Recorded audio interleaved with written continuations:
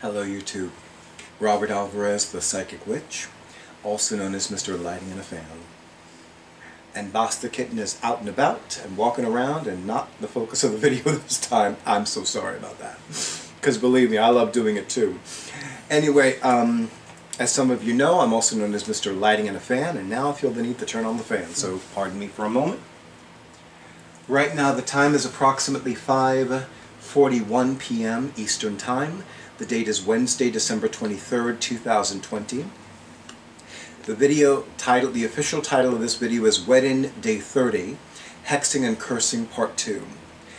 As you can tell from Hexing and Cursing, from WEDIN Day 29, Hexing and Cursing Part 1, I am very passionate about a lot of things. I'm very passionate about music, I'm very passionate about reading books, and I had forgotten just how passionate I am about magic and witchcraft.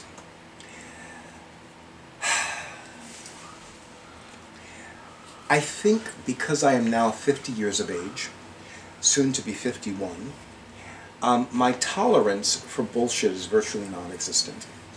And I truly believe it is utter, nonsensical, poppycock bullshit that people, such as, say, New Age witches, are enveloping criminals that cause great harm with white light.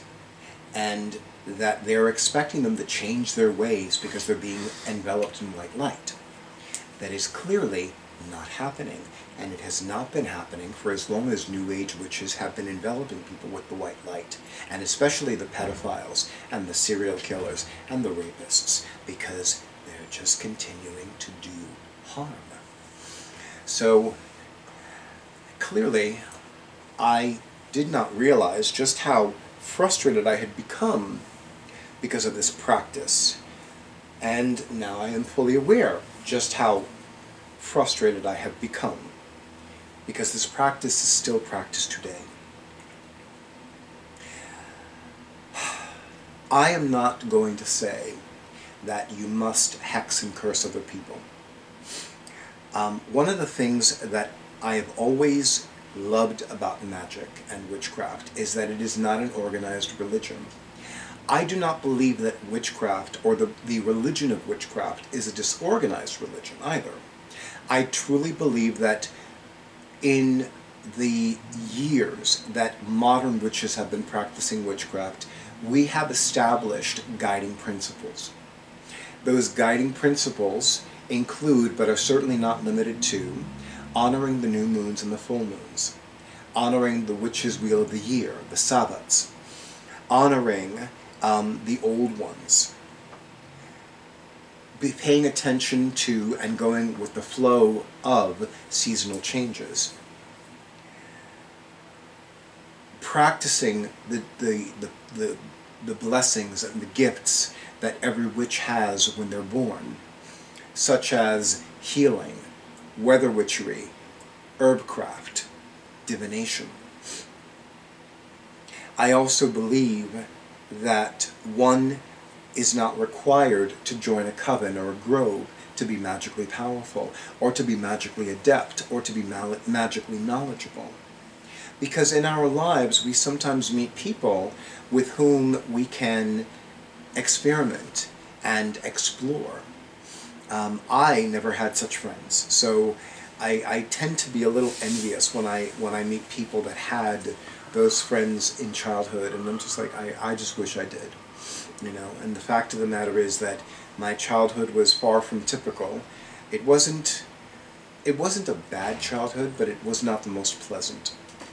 And um, so, so there are things that I still wish that I could experience, that I wish I had experienced. But that's, that's really another topic for another day, and probably not even necessarily an appropriate topic for a YouTube video but I digress. Nonetheless, nevertheless, what I feel is that it is important that people use what is available to them to protect themselves and their own. I truly believe that every witch has the right and the responsibility to use their magic, to use their witchcraft, to protect themselves. from anything or anyone that wishes to call, cause them and theirs harm. Sometimes that means hexing, sometimes that means cursing, sometimes that means binding. But the fact of the matter is that we have these abilities. We as witches have these abilities. We have these skills, we have these talents, we have access to these energies. And I feel that we have the right and the responsibility to live life well, to be happy and healthy, and to bring good cheer to others, to bring good tidings to others, to bring good blessings to others. I feel that that is a right for every person, but especially for every witch, and it is a responsibility. I have mentioned in other videos that I do not care for this tolerance crap. To me, tolerance is crap. I do not want to be tolerated. I want to be accepted or left alone. You have a problem with me being a witch? Okay, leave me alone. You have a problem with me being gay? Okay, leave me alone. You have a problem with me being Hispanic? Okay, leave me alone. If you have a problem with me, any part of me, whatever, fine. I have no issue with that. Just leave me alone. Or as I would say, leave me the fuck alone. Because if you have an issue with something about me, that's your issue with me. Your issue, not my issue. And I don't have an issue, I have no issue with somebody saying, you know what, I don't want to spend time with you because of X, Y, and Z. Okay. I have no problem with that. I have no problem with that. I don't think I've ever had a problem with that. My thing is, I truly believe that if somebody wants to harm me, if somebody wants to try and harm me, then I have the right and I have the responsibility to protect myself with anything that is available to me. Whether it is a gun, whether it is a knife, whether it is a spear, whether it is a bow and arrow, whether it is witchcraft and magic and witchcraft. That's my right and that's my responsibility. If somebody wants to harm somebody who is sacred to me, or one of my animals, or my home, then I have the right and the responsibility to protect my the people that are sacred to me, to protect my animals, to protect my home by any means necessary.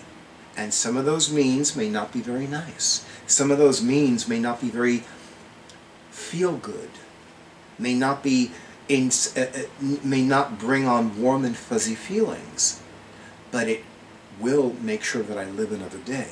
It will make sure that my home continues to exist. It will make sure that those who are sacred to me and the animals whom I love and adore continue to live another day.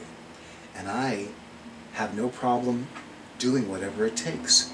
And I do whatever it takes, and I use whatever is available to me with no malice, no hesitation, and no apologies. I am not going to apologize for the fact that people have come to me and said, Robert, I think somebody's harming me. I think somebody that's around me that's causing me to feel fear. I feel that I'm in danger. I don't have a problem with somebody saying, I need you to do something about that. And I do not have a problem with somebody approaching me about that. And I certainly do not have an issue charging a fee. I don't do it for everybody, and believe me, there are people that have approached me about doing a spell for them, whether it was a romance spell, whether it was a money spell, whether it was a, a hex or a curse, and I do what I've always done. I engage in meditation and prayer about the situation for three days. And after that three-day period, whatever Goddess says is whatever God it was, it was whatever goes. And if Goddess says yes, then it's yes. If Goddess says no, then it's no. And one time somebody even said to me, you know, somebody had approached me on when I used Facebook and said to me, I really want you to do a love spell for me. And I remember stating, I said, first and foremost, this is my policy. My policy is that I'm going to spend three days in meditation and prayer, and I'm going to commune with the great goddess, and I'm going to ask her, yay or nay. If she says yay, then I'll begin preparing myself as I was taught to prepare myself before engaging in ritual work and spellcraft for another. And then you pay me whatever the great goddess or whomever or whomever in whom you believe says whatever this amount is. I don't know what this amount is, and I don't want to know what the amount is ahead of time. I don't. I don't feel comfortable knowing that amount. And fortunately for me, the people that have approached me about doing ritual work and spellcraft for them have honored that. They do not tell me in advance what the amount is. They just send it to me. Or if I'm meeting them in person, they give me an, an envelope in cash. And I don't know what's in that envelope until I get back home. But that's how it goes. And then at the appointed time, I do the ritual. I let them know when I'm going to do the ritual. I let them know the basics. I don't need to tell them everything. I don't want to tell them everything. I remember one time when I was in a hospital last year, somebody was like, I need you to do this for me, it's an emergency. I'm like, I'm not even, I haven't even begun preparing for that. And if I'm going to do that, I need to prepare. And I said to her, at the earliest, I can begin preparing myself tonight, and I can begin doing this tomorrow night. Not right now, tonight, tomorrow night, but like last year, I want to say April 2019. I said to her, I still, I know what works best for me. The manner in which I was taught works best for me. And when I deviate from what I was taught and how I was trained, it does not produce the, the results that are necessary. It does not produce the desired results. So I'm not going to do it because it's going to be a violation. It's not going to do what it's intended to do. And I, and I honor that. And I said to her, I can begin doing this tomorrow night, but I must have tonight to prepare. She was not okay with it. And she told me in advance how much she was going to pay me. And I'm like, why'd you do that? I don't want to do uh, No, no. I, I'm just like, no, no, no. And, and she, I actually had no other choice but to block her. The irony was that she was referred to me by another witch for something else. In fact, it was for, um, uh, it was for a, a consultation about something. And I don't remember what the thing was, but I was just like, no, no, no, this is not working. And that she was not, and, and the irony, not the irony, I found it strange that when I called her, she was texting me to say, I'm not available right now, I'm busy in a meeting. And then I said, that's fine, you can go back to me at your convenience. And then she kept texting me, and I'm like, wait a minute, I thought she was busy in a meeting. But she kept texting me, and it was like all of a sudden the meeting didn't exist. I'm like, wait a minute, I thought you were busy in a meeting. That's, I didn't say that to her. I, I just thought that in my mind. But I could already see where this was going, and I'm like, you know what? I'm, I'm, I blocked her. I blocked her via phone and via text. And she left me a message that night, or the following morning, whenever it was. I listened to the message. I immediately deleted it after I finished listening to it. And I have not heard from her since. And that makes me very happy. Um, that was just somebody that had a lot more issues than I could handle and that I could help with. And sometimes that happens. But I am crystal clear that the people that have come to me for ritual work and spellcraft have gotten what they needed. And one person in particular has come to me for hexes, and they have always worked well for her. And let me tell you something, I am so happy that the people that were causing her pain and hardship are no longer a part of her life.